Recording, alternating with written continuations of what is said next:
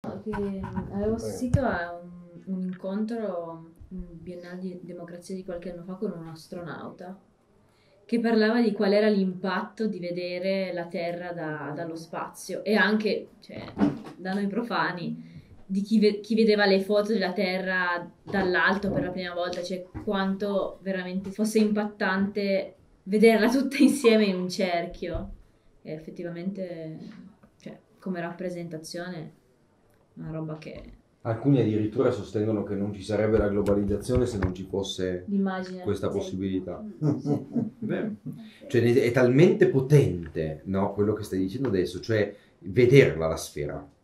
Sai, vedere è un atto violento, eh. Cioè, vedere è un atto violento. Quando io ti guardo, più che vedere, guarda, quando ti guardo e posso vederti, io ti sto possedendo, perché in qualche modo vedo tutti i tuoi dettagli, posso descriverti, posso capirti, no? E allora da questo discende la possibilità di trattare la Terra come sfera. Questa è Sloterdijk, per esempio. Quindi come qualcosa che può essere tutto sommato manipolato. manipolare.